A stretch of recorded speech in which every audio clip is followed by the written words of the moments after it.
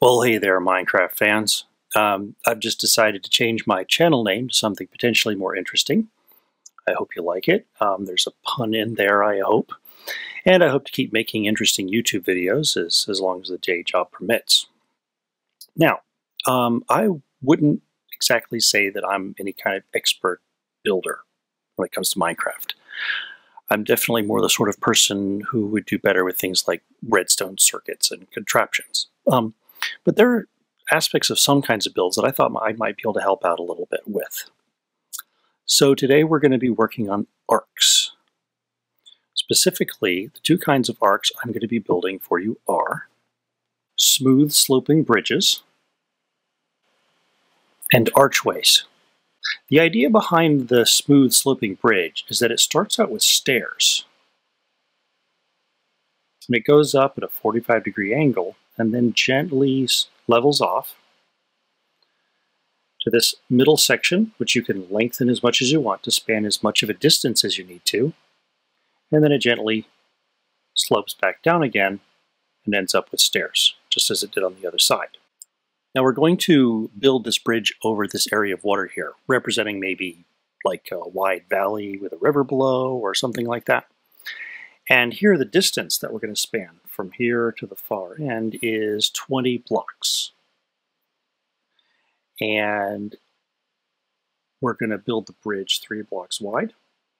And I've left some extra space on either side for some little aesthetics we might tinker with.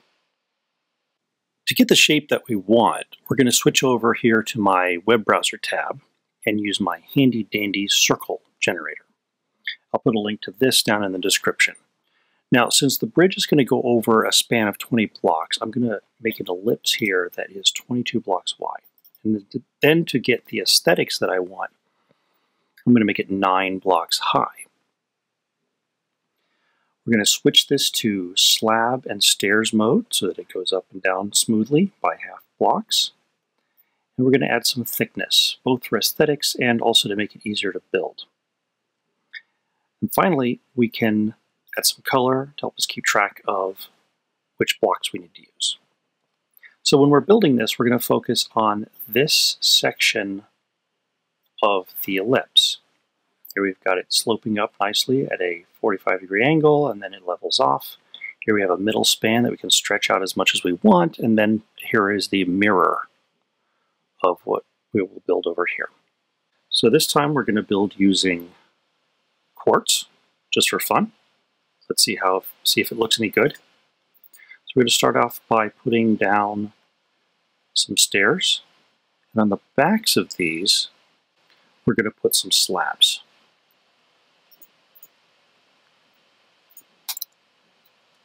On top of those slabs will be the next set of stairs. And on, on the back of these stairs, we will put some upside down stairs. Now these upside down stairs, we need to put some slabs on top and on the sides facing towards the middle of the bridge. And then we can put some stairs here. Now on the back of these stairs, we're going to put full blocks. And then we're going to stretch out three sets of slabs.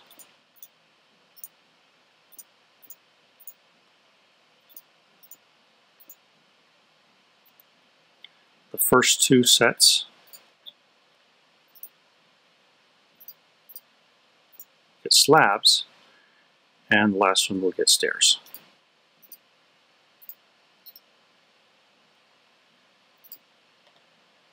Now this brings us up to the full height of the bridge. So we're going to build out many full blocks as we need to to stretch out the distance of the span of the bridge. And next we're going to build the other side and make them meet in the middle.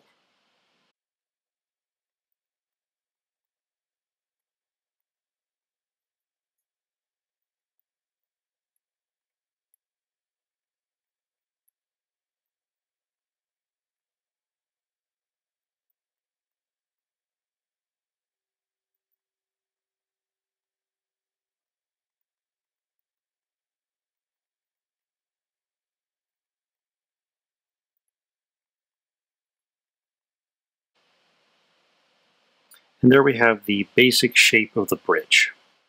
Now, I've seen a lot of designs where it's common to do things like add some full blocks in these spots like this.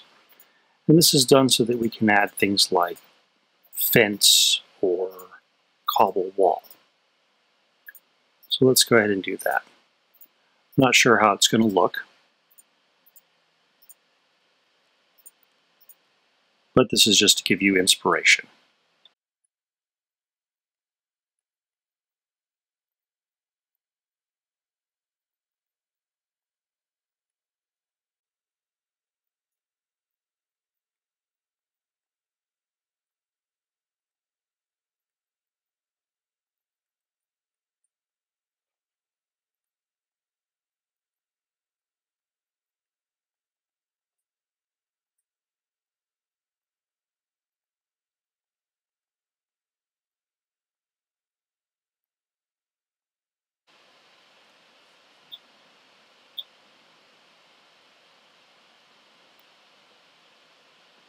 And there you have it, completed bridge. I probably could have picked a better color scheme, but let's give it a run. Let's see how it, uh, how it feels to go over this bridge.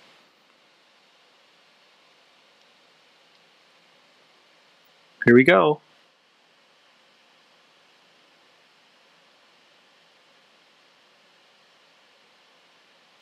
Hey, let's do that again.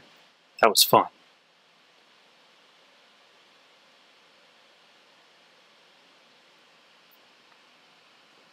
And I forgot one important thing. We don't want these bridges to look like they're just floating in midair and violating the laws of physics, so why don't we add some pillars?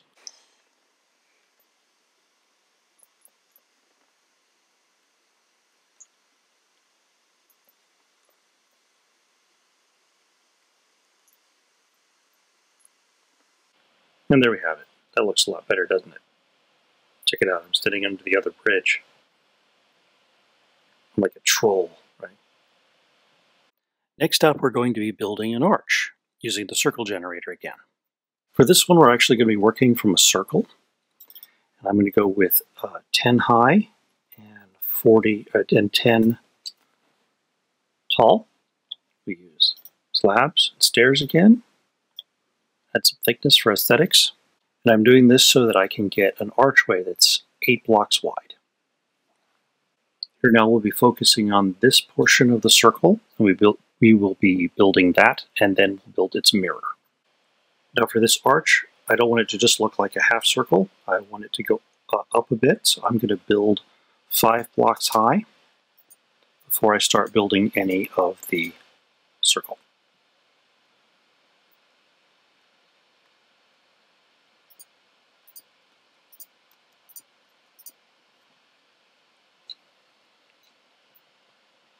Now that we have that, I'm going to start with a slab here and another one towards the middle of the arch, a full block. On top of that, we'll put a stair and then an upside down stair on the back of that. Top of this will be a slab and also towards the inside. Finally, we will put a stair. This brings us up to the full height of the arch. So I'm going to place one of our full blocks there. And then I will go build the mirror image of the arch, of that half of the arch over here.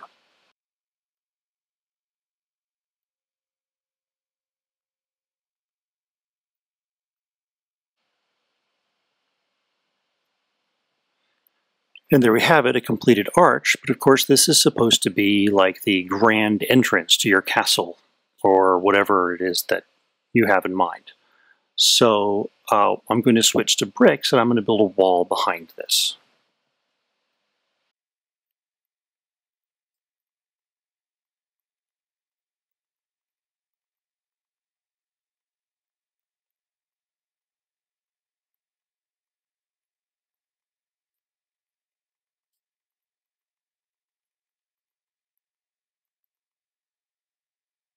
So now, because of the circle mode I selected, it actually is uh, possible to make the, uh, to fill in these gaps and make this brick portion have an arch that matches the inside of the white one.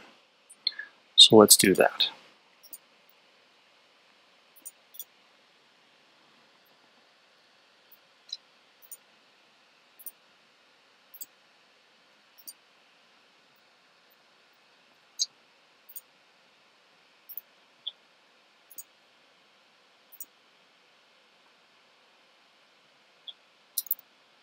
And there you have it.